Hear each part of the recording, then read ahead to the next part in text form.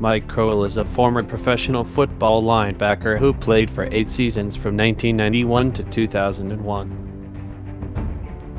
Croel was born on June 6, 1969 in Detroit, Michigan.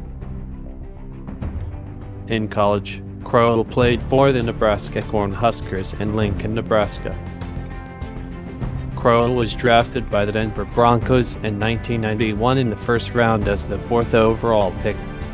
Over eight seasons, Croel played for the Denver Broncos, the New York Giants, the Baltimore Ravens, and the Seattle Seahawks. His first team was the Denver Broncos from 1991 to 1994.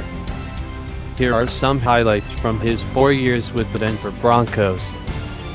In 1991, he was named NFL Defensive Rookie of the Year. His second team was the New York Giants in 1995. His third team was the Baltimore Ravens in 1996. His fourth and last team was the Seattle Seahawks in 1998.